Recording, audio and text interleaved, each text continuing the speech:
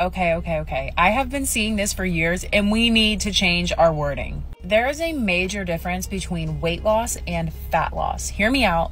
Weight loss just means that you could be losing anything. You could be losing water weight, you could be losing muscle mass, which we do not want to do, and you also could possibly be losing body fat. Now, fat loss is what we really want to achieve because we don't want to lose our muscle mass, we don't want to lose bone density, we don't lose water weight, we just want to lose body fat. Instead of saying I have weight loss goals, say I have fat loss goals.